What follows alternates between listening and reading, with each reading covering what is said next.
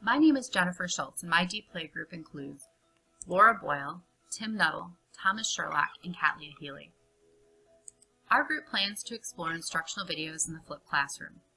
Our goals for collaboration this year are to explore answers to the following questions. What does the flipped classroom look like? What flipped classroom structures work best? How is time managed for students and teachers in the flipped classroom? How can wonder be instilled if students are working at home? What is the difference between a blended classroom and a flipped classroom?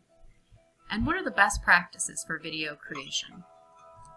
Our group has agreed to use a shared Google Docs folder to catalog our collective work and found resources. We've already created a document that includes our contact information and goals, as well as a tentative meeting schedule for the year. We're also following each other and experts in our topic on Twitter.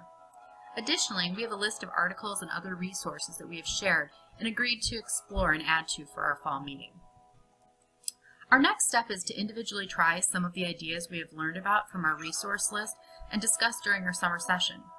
We plan to meet in September to share the outcomes of what we've had a chance to try in our classrooms, after which we'll develop an action plan for the remainder of the year. We also plan to discuss the list of articles and resources we created during the summer, as well as anything we have added to the list.